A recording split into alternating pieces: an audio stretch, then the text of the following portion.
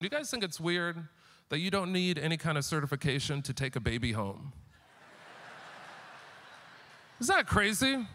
Every other thing that we do in this country as adults, you need to get a certification. Like, you want to drive? You need a license. We need to send somebody out and make sure you're cool to drive. You want to rescue a dog tomorrow? You can't just go down to the animal shelter and say, hey, I'm here to rescue an animal. No, they don't just give you a dog and send you home. There's paperwork involved, and then they send a human to your house to check it out and make sure it's cool for a dog to live there. But when you have a baby, they're just watching the clock. Uh, it's been 26 hours. Go ahead. You could take this baby. You've been a kid before, right? Yeah, okay, you'll be fine. Whatever your parents did, download it into this one. It'll be cool.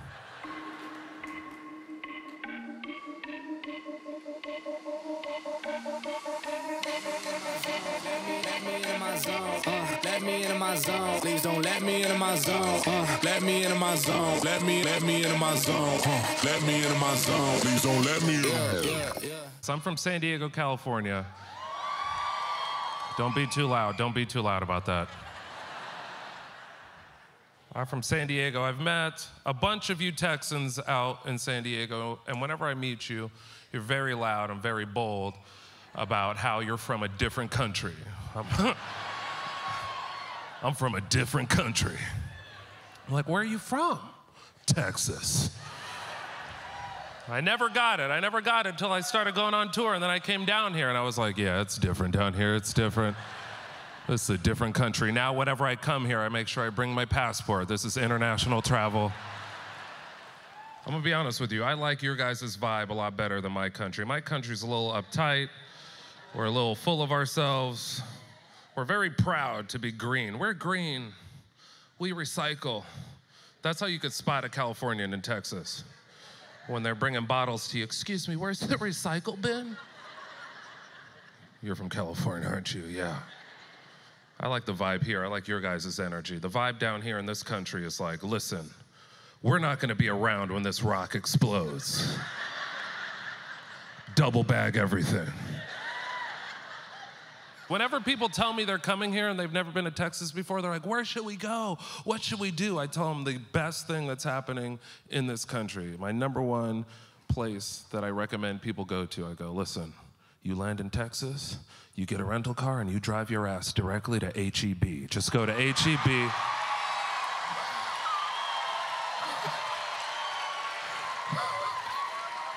You're like, a grocery store? You don't understand. This is more. I love HEB. That's my first stop every time I come here. We were in some city and I saw something happening in the HEB that I've not seen in my country for quite some time. I almost cried as an adult. I almost cried. I saw free plastic bags. I almost cried. Buc-ee's too. What the hell is that? We have to pay for bags in California. You have to pay. Here, they were free. And you guys don't even understand how, you don't even understand how dope that is. You guys get to do something here that I haven't been able to do in my country for quite some time. You send your kids into the store, like, look at, make sure you get extra plastic bags. We need trash bags for the bathroom. I don't know if you guys are getting dad energy from me, but I'm a dad. I got uh, two kids at home I have a three year old son and an eight week old daughter at the house. Yeah. I just want to stop really quick, and, and uh, I think we should get a big round of applause and salute to all the dads in the room today. Happy Father's Day. Happy Father's Day. We're glad you're here. Hell yeah. Also, I want to shout out all the single moms in here that are wearing both hats. Happy Father's Day to you, too.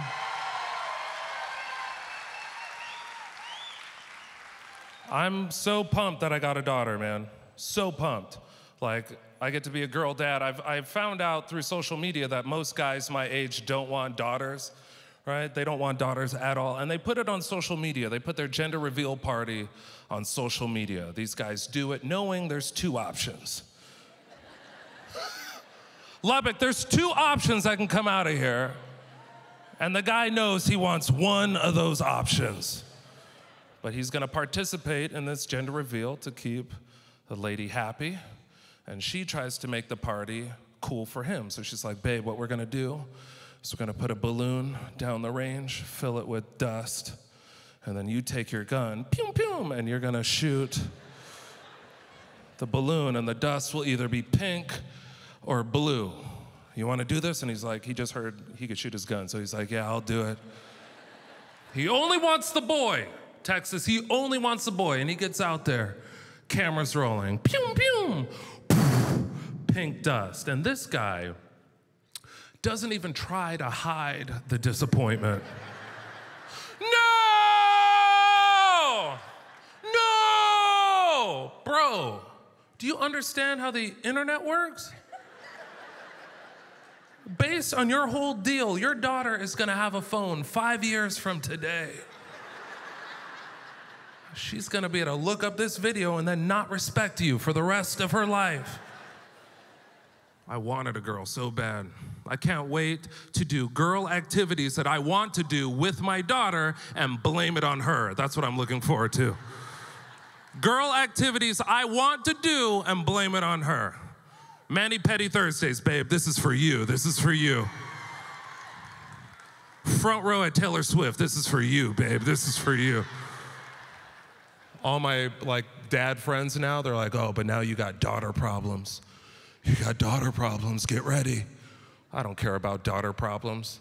There are parents in here right now. You know, the real problems I'm having now is new baby problems. That's the problems I'm worried about currently, new baby problems. And it's not diapers like people think. Oh, poop diapers? No. I got new baby problems, which is friends coming to the house wanting to hold my new baby. Think about your friends. Think about your friends. Not all of your friends are qualified to be around or hold a baby. But when they find out that you have one at the house, they want to come check it out. Can I hold the baby? You guys know this friend. They don't have kids, but when it's your kid, they're like, yeah, I want to test it out. What does it do? What does it do? And you're a parent, that protect gene kicks in right away, and you know you don't want this person touching your baby. But it's your friend, so you're not allowed to be like, no, hell no. I'm on my second kid now. I've figured out the most polite way to tell your friends they can't hold your baby. Lubbock, take this home with you, okay? This is what I do. My friends want to hold the baby, I give them the test. I'm like, hey, before you hold the baby, let me see your phone really quick. Give me your phone. Yeah, I'll take a picture. Give me your phone really quick. Give me your phone. And if there's any cracks on that cell phone, I'm sorry, you can't hold the baby.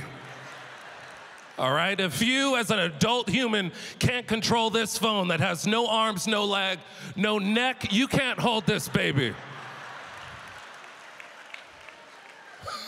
There's no OtterBox case for this baby. I can't put my baby in a jar of rice when you drop her on the ground. There's no AppleCare with this baby. Butterfingers, you stay right over there. That's what I need. I love being a parent, though. I love being in the fraternity. Parents, tell me if this is normal behavior, okay? I got furious at my three year old the other day, furious at a three year old for something I think is gonna happen in the future. Is that normal? Yes? Okay, cool. I'll explain to you the situation. Okay, my kids are mixed, just like me, black and Asian, if you're trying to figure my face out. That's what's happening up here. It's a lot of laughter. You guys were wondering, what is he? My kids are this, half black and half Asian, and they're half white, all right? Mom is white. Now, when you're part black, when you have any black in you, the kind of hair that you get is a mixed bag. You can get anything, right? You could get curly hair, you could get wavy hair. Half of your head could be curly, half could be wavy. So we haven't cut my son's hair because I want to know first what kind of hair does this kid have? What kind of hair does he have? The kind of hair that he has is important to me because the kind of hair you have dictates which barbershop you go to. I want them to come to my barbershop. Men in here know there's two barbershops in this country. There's a barbershops with clippers and sports on, and there's, there's a barbershops with scissors and I assume cucumber water. I'm not sure what's happening and that other place. My son's got white hair. He's not coming to my barbershop. He's gonna need some scissors and a comb. His hair's long. Here's when I got pissed, okay? The other day he's playing with his trucks like a normal little boy, right? And his hair, his long white hair, just fell into his face. And we have not taught him this at all, but I was watching him and I watched this boy out of instinct. He took his index finger and he tucked the hair.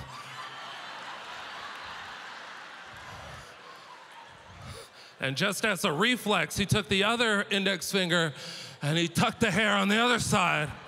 And I was furious, Lubbock. I was in the red, pissed. Because that's my son now. This is my guy right here. This is why I'm super mad, you guys. We live in San Diego. This dude looks like me with a white face, and he's gonna be a teenager before I know it. So I know for a fact one day soon, this kid is gonna flip flop his white face right up to me and he's gonna say something so insolent it just sets me off. Like, you don't even get it, dad, and then tuck the hair behind.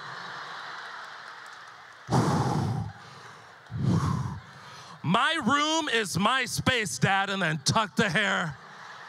Hoverboard away. I don't know how white kids get around the house.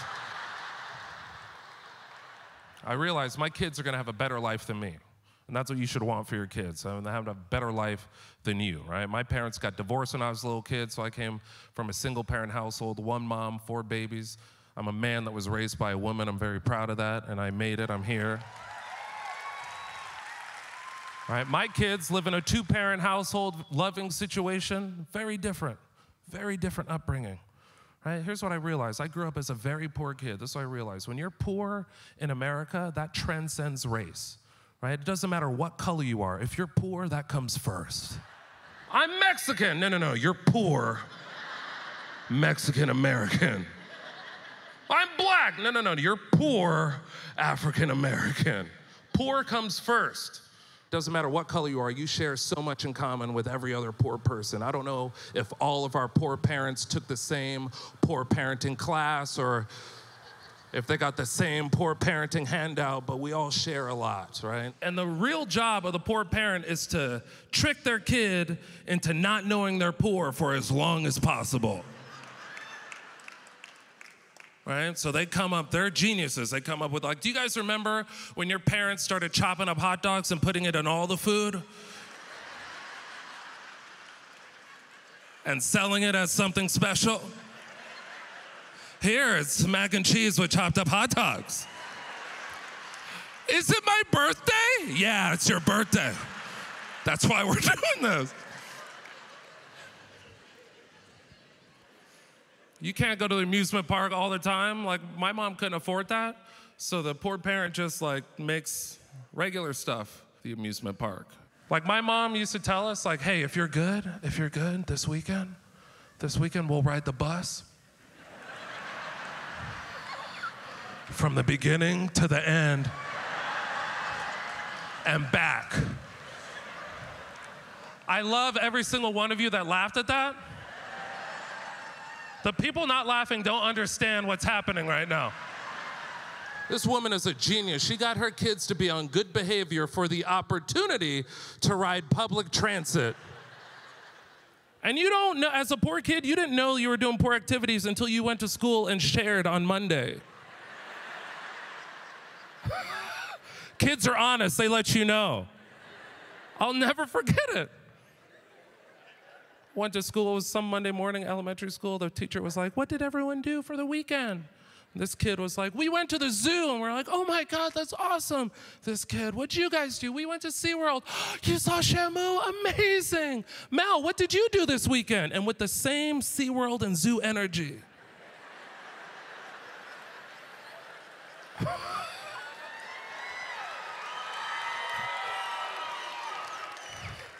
I was like, well, on Saturday,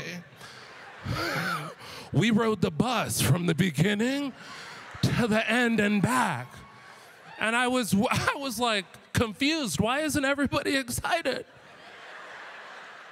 Just looking at me like, ugh, you're poor.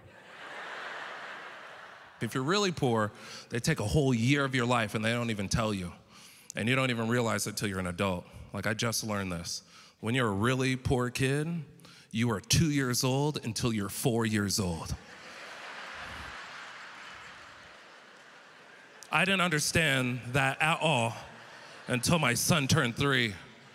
In America, I've learned, in America, three years old is when they start charging you full price. Three years old in America is when you need your own ticket to get in here. I could feel the energy in this room. A lot of you guys are just like me. We had the same childhood, right? You would go to the amusement park every once in a while, but before you went in there, your parents were like, come here, come here right now, come here. Everyone, come here right now.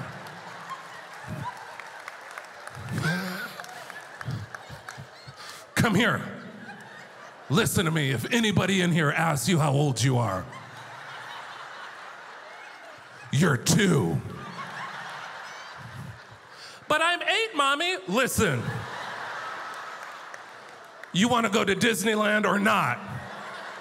You're two. Now climb in this stroller right now. Tuck your legs and suck your thumb right now.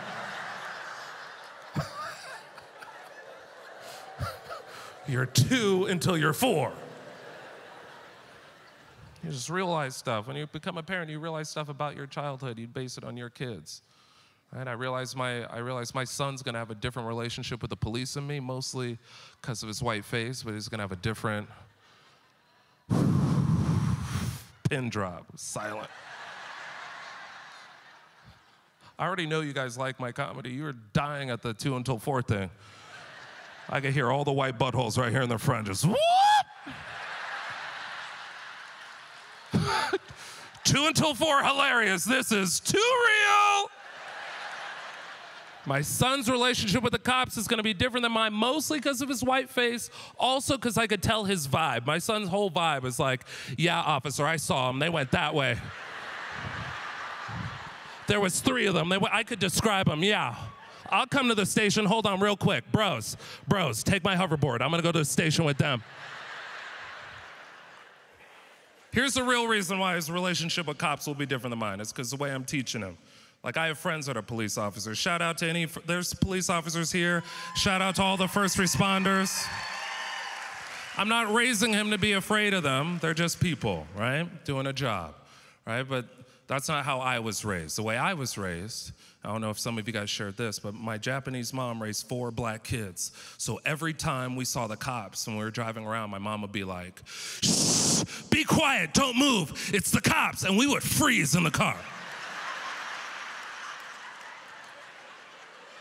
Every time she saw the cops, she would tell, Shh, be quiet, it's the cops, and we would just freeze. And when you're a little kid, you don't question your parents' rules at all. You just do whatever they tell you. It's not until later when you start thinking, like, what the hell?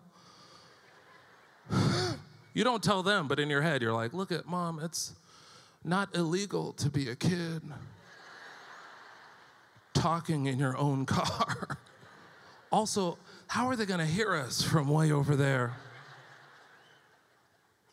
Doesn't matter who you are, every single one of us had parents with weird rules, right? And those weird rules get stuck in your lizard brain, and you will be adult going through life today and find yourself doing something weird. You're like, why do I do this? Oh, my mom made me do that. Oh, okay. I'm almost 38 years old. To this day, when I'm driving around, if I see the cops, I will turn the radio down and freeze for a second.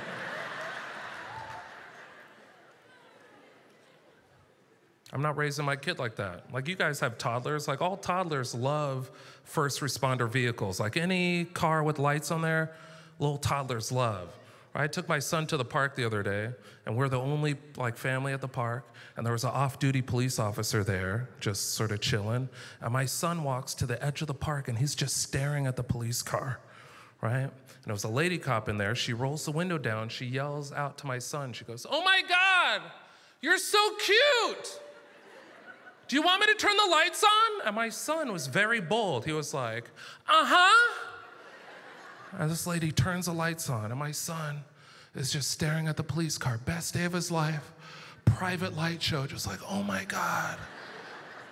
What did I do to deserve this amazing free light show just for him? It's just him. He's the only kid in light show. Right? Her partner pulls up behind her. This guy rolls his window down. And he was like, Hey, you want me to turn my lights on too? And my son was like, Uh huh. This guy turns his lights on. And then I can see my son, his face, best day ever, private light show, just looking at this car, looking back at this car. I hear the lady cop say to my son, she goes, Is he okay? And my son turns around, I'm behind him, just frozen, just frozen. Be cool, dude, be cool.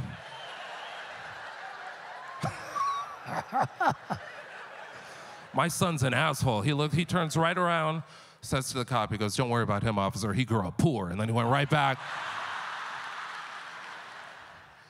Every once in a while, I look at my current life through my fifth grade, like poor kid eyes, and I'm grateful, right? I realized the other day, if fifth grade me saw my life right now, he would think that I made it. He would think that I'm rich, Houston. He would think that I'm rich based on my silverware drawer alone, the silverware drawer. I have confidence I can invite this whole front row to my house and make dinner. Every single one of you would get all the forks, all the spoons, the, all the knives, and they would all look exactly the same. You know why? Because I bought them from the same store at the same time. It's a set. Some of you grew up like me. The silverware drawer at your house, nothing matched in there, nothing. It was just a Frankenstein collection of tools. These are all utensils from restaurants your parents were comfortable stealing from. Here's the number one thing in my silverware drawer that fifth grade me would be so impressed by, right? I'm not trying to flex on you, Irving, at all. All right, but in my silverware drawer at home, I got an ice cream scoop in the drawer. Sounds like 25% of you understand what a big deal that is. I got a spoon that was scientifically made to scoop one thing. That's all it's for ice cream. When you were a little kid, when you were a poor little kid, you would go to your friend's house and you would make notes in your head without even knowing it. It's just what poor kids do. Like I remember going to sleepovers, and if the mom was like, okay, we're gonna have ice cream, and she busted out an ice cream scoop, I would make mental notes. I was like, yeah, they got money in this house. This is a money house. We're coming back here on Halloween for sure. This is a full size candy bar house, I could tell. If I went to your house and your mom busted out an ice cream scoop with a that thumb piece on there, I was like, oh my God, they must be descendants of Baskin or Robin. I'm not even sure. I don't even know where you get that. Some of you guys are just like me. You didn't have an ice cream scoop growing up. You had an ice cream spoon. And this is not a spoon made for ice cream, it's just the biggest spoon your parents had. Two times a year, you would get ice cream. On your birthday, when you got A's in school, your mom would be like, someone get the ice cream, someone get the spoon. And sometimes your freezer would do such a good job, you would go to get ice cream and it would bend that spoon all the way back. Would bend it all the way back. And that's when someone at your house would say the poorest sentence of all time. The ice cream's not ready yet. Leave it out a little bit longer. Bend that spoon back, though. Bend that spoon back. if I went to your house and your mom had an ice cream scoop, or if I peed at your house and the toilet water was blue, I was like, they got money in here. then you get your first apartment, you go to Target one time, you're like, we could have had all this for $18. What the hell? I realized the other day, uh, we're raising our kids white. I realized that the other day. I could see some of the white faces in the front are looking at me like, what do you mean? You know exactly what the hell I mean. I'm participating. It's bad. The other day, I'm watching my son. It's just me and him, and he starts throwing a tantrum. And I was like, hey, hey, hey.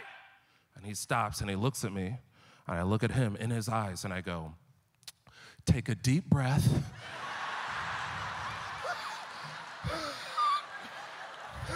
I said, take a deep breath and count to three. I felt dirty on the inside of my body. You guys, this is what made me so mad. I got so mad because it worked. It worked. This kid stopped in his tracks. He took a cartoonishly deep breath. and he could count. He counted out loud one, two, three. And he looks me in my eyes and he goes, I'm sorry, daddy. And then he tucked his hair behind his ear. Austin, Texas. My name is Mal Hall. Thank you so much.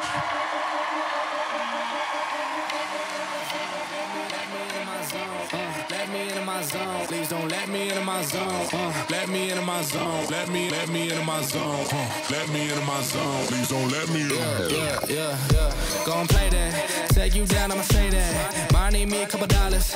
Telling you now this payback. Huh, so I take that. Ask them now what say that. I've been going to the top and I got what they not, so I know that they hate that. Uh, but I'm on now. These lanes gonna zone out.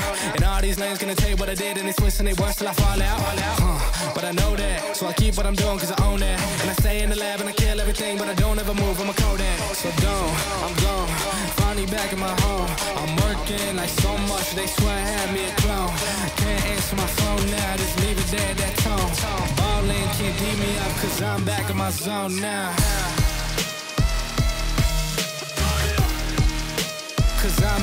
Zone now.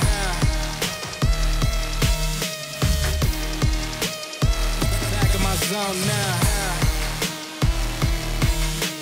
Ballin' can't beat me up cause I'm back in my zone now.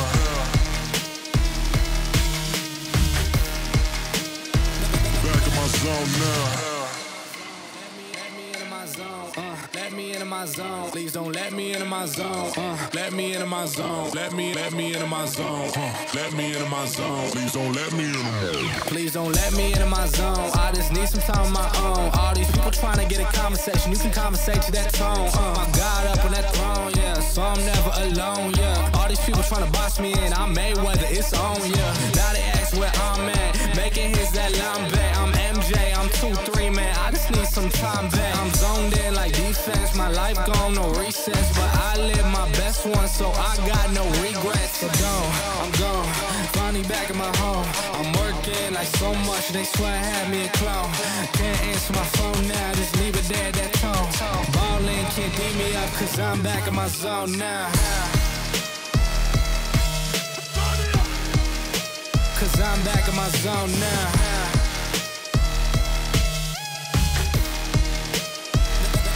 My zone now. Ballin' can't beat me up cause I'm back in my zone now.